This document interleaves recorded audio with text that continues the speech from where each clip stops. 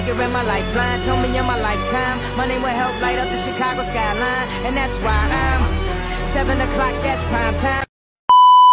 Hello, guys. I will talk to you using a bot because my English is not that good. And do not judge strictly, although you can judge strictly. But this is my first review on something on YouTube. This is my first review and I will just watch the trailer. For Little Nightmares 3 and so you don't see my horrible drawings let's get started quickly. As I saw the main character will walk in some kind of ruins. Or catacombs. There will also be two characters as in the second part. But I hope the final will not be like with 6, but what else can I say is that Bandai Namco managed to make a good quality and a trailer. I hope that in Little Nightmares 3 the quality will be even better than in the trailer. By the way, the boy for whom we will probably play wears a raven mask, or a plague doctor mask. Mono in the second part, when he took off the mask, the sixth recognized him as a tiny man. Maybe the main character will be connected somehow. With the villain as Mono was connected, although I don't know. But it seems to me that the Raven mask is not just. Then we see either a mirror or a throne. I don't know how to explain it, but I think that the broken mirror is connected with the villain. You can see that the girl who helped us also wears a mask. But a gas mask, probably the place in which they are poisonous to them, and they wear masks. The girl has red hair. Well, new mechanics and Little Nightmares. Here we see umbrellas thanks to which they fly a little, either the girl will give them to us.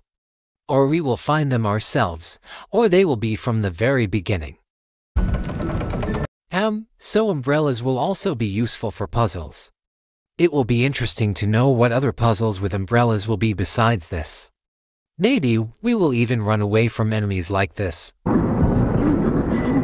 Further we see fat people. Either the city is not abandoned and the people are evil and we are hiding from them. Or this is another location where people are. It also reminds me of a frame from a comic book. Probably the game will be based on a comic. And also these people reminded me of the guests from the first part of Little Nightmares.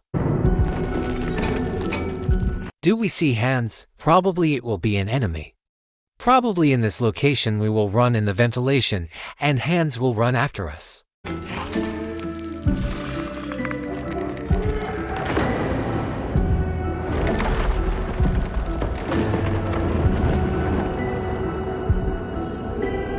We see a mirror.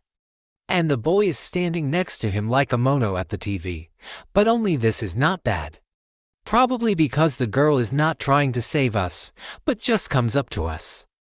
Then we again see a broken mirror, or a throne. A broken mirror after the characters go to it, it seems to me that something means. Further we see.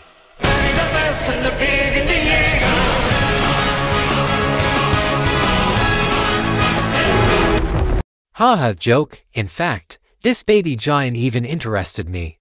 He will definitely be the enemy from which we will run. Personally I will cosplay Horseradish Jaeger, and I will try to cut his neck. Honestly it doesn't really look like he will be the main villain. I think he will be an important villain and, it turns out in Little Nightmares. There is a reference to the attack on the Titans, well. My suggestions are that after the baby we go to the main villain through the mirror. Also this baby giant's eyes shown in one frame. This means that he is some kind of creature, or that he is a robot. I'm some kind of schizotheory.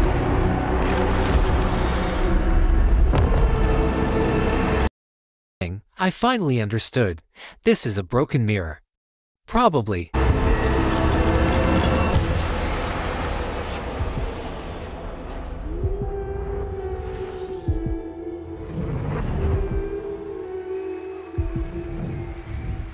We saw a dump.